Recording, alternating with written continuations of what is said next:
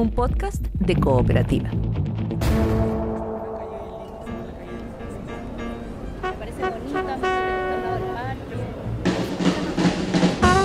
Soy Héctor Belis Mesa y en este podcast les invito a que caminemos juntos por algunas de las calles más famosas y transitadas de Santiago. Calles con Héctor Belis Mesa, segunda temporada. En este capítulo, Las Tarria. Parece que es un barrio emblemático, ¿verdad? Porque Es mágico, es como venir para acá y como que encontrarte en otro lado.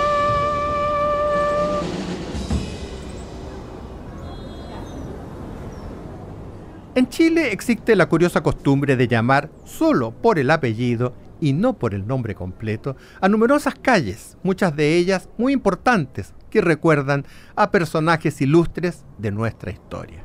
Las Tarria, en el centro de Santiago, es una de ellas.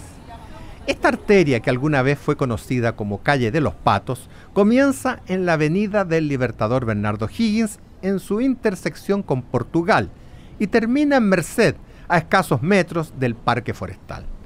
Debe su denominación al abogado, político e intelectual del siglo XIX, José Victorino Lastarria.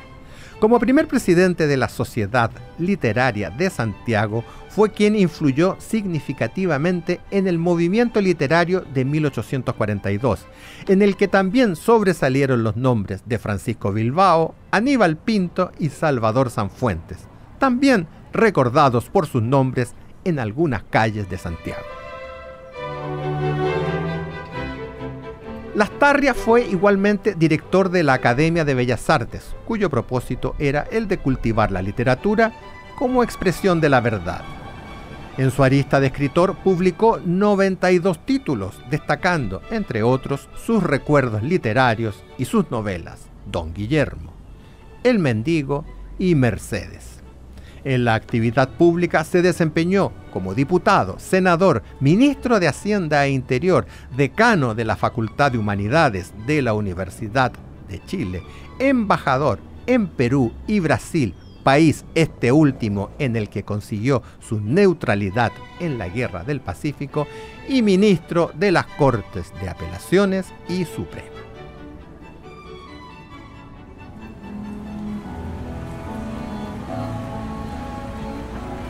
El barrio Lastarria, que recuerda a este ilustre chileno del pasado, antiguamente fue conocido por el nombre de Barrio de la Cañada.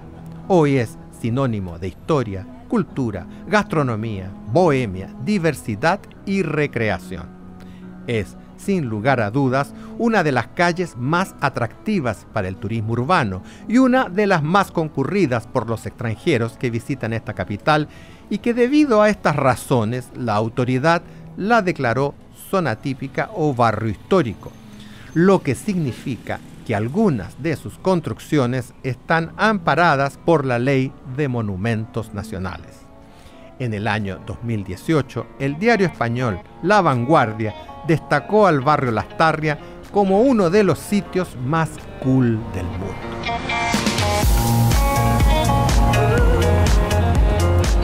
Bueno, yo de hecho soy de región y siempre uno de los barrios que a uno le nombran de Santiago que es como emblemático el barrio Las Tarrias.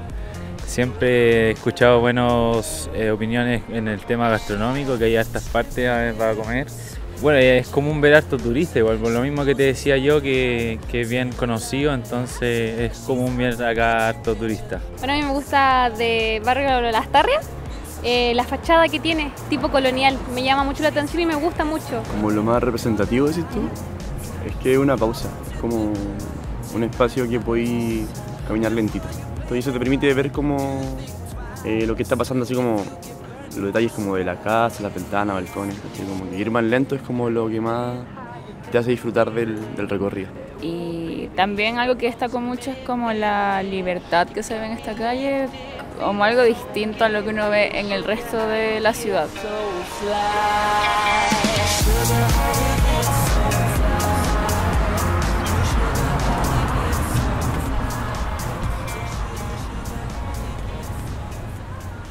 Lastarria fue posiblemente el primer barrio de la precaria aldea colonial que fundó Pedro de Valdivia en el siglo XVI, en los faldeos del Cerro Huelén, que él llamó Santa Lucía. empezó a desarrollarse como tal en el siglo XIX, en torno a la iglesia de la Veracruz, uno de los monumentos históricos en pie más significativos de la capital chilena, que sufrió serios daños al ser incendiado por encapuchados en las protestas sociales del año 2019. La Tarria, en su corta longitud, cruza las calles José Ramón Gutiérrez, que los vecinos la usan para cortar camino hacia la estación del metro Universidad Católica, Padre Luis de Valdivia, Villa Vicencio y Rosal.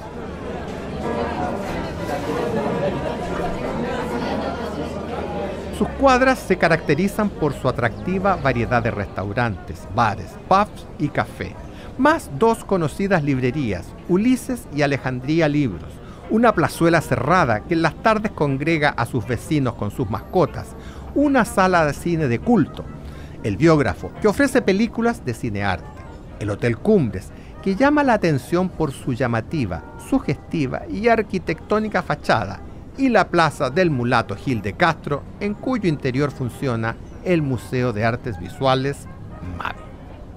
Las Tarrias es una calle amistosa, animada y relajada. Se puede simplemente caminar por sus veredas, sin un plan determinado, salvo el de mirar con atención o visitar una feria de antigüedades que suele instalarse en el tramo comprendido entre Rosal y Merced, hoy convertido en paseo peatonal.